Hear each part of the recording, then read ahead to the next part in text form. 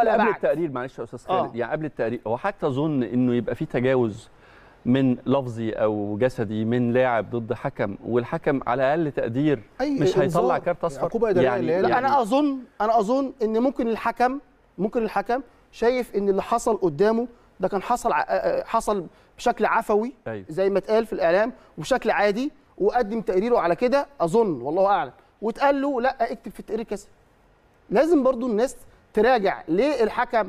ما ما قيل في الاعلام يعني لو السيناريو حضرتك بتقوله ده حصل آه. ده. شيء يدين الحكم لا، قبل لا، ما يدين كابتن بص محمد عشان الشناوي نبقى صراحة مفيش حاجة هو أنا هنا بديني آه. أنا لو حكم اتقال له اكتب في التقرير كذا ده ما ينفعش يبقى حكم آه. وما ينفعش يبقى حكم ولو الناس اللي موجوده على زي ما خالد بيقول قالوا للحكم اكتب كذا في تقريرك أو ضيف لنا كذا أو حط لنا الموقف بتاع الشناوي والكلام ده ده كده تبقى منظومة تحكيم العقوبة تمت. على أي أساس يا أستاذ محمد ما بتكلم في بسأله. كده. العقوبة اللي صدرت في في حق محمد الشناوي بص. بصرف النظر على إنه الراجل ده أخطأ أو ما أخطأش دي مش نقطة نقاش مش محل نقاش خالص دلوقتي خليها بعدين على جنب.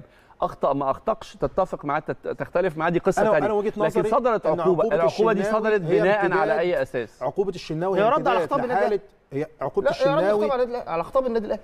ما أنا جاي في الكلام آه. بس ما مش عايز يعاقب لعيب عشان الجواب هي امتداد لحالة التربص اللي من بداية الموسم لازم يبقى. ليها منطق ما يا هو أستاذ محمد. منطقك إيه لما الحكم نفسه لا أدان اللاعب ولا طلع له إنذار ولا طرده ولا صدر أي حاجة في الماتش؟ الماتش انتهى طب ما هو ده الحكم نفس هو الفكرة اللي بقولها يا محمد ده بيتوافق مع نفس الفكرة اللي انت بتقولها الحكم ما ادانش كتب في تقريره ليه؟ ما أنا إلا إذا كان املي عليه مثلا أنا بقول ما يبقاش حسن عشان كده. عشان وقتنا تفترض. و... ما هو كده ما يبقاش عشان عشان إن هو املي عليه دي ما يبقاش حكم طيب، عشان املي وقتنا. عليه دي يبقى الناس طيب. موجوده دي متآمرة